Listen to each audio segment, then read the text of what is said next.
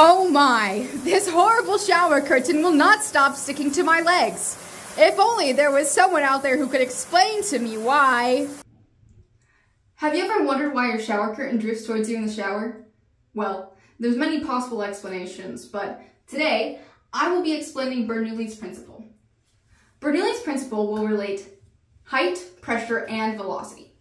We can start by looking at Bernoulli's equation, in which we see how pressure 1 plus 1 half rho, or density, times velocity 1 squared, plus rho times g, the acceleration due to gravity, times h, the height, is equal to a constant value. This means that the numbers on both sides of the equations must be equal. So if this side equal to 5, this side must also equal to 5. So we'll note that pressure and velocity are related as they're on the same side of the equation. So if we want to keep the number constant, we can conclude that if the velocity increases, the pressure must decrease in order to make up for that change. So when we apply this to our wonderful shower and shower curtain here,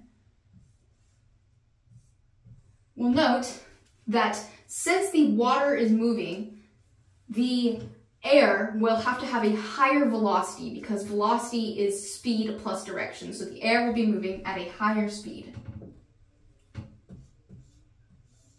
And since the velocity is higher, we've established that the pressure must be lower.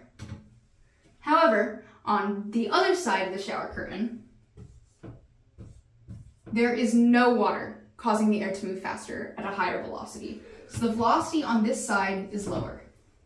And per our logic earlier, if the velocity is lower, then the pressure must be higher, which means that we have a pressure difference.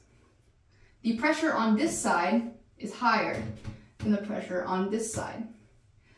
And this pressure difference causes the shower curtain to move inwards towards the shower. And that is how Bernoulli's principle is a potential explanation for your shower curtain. Thank you. Ah, yes. It all makes sense now.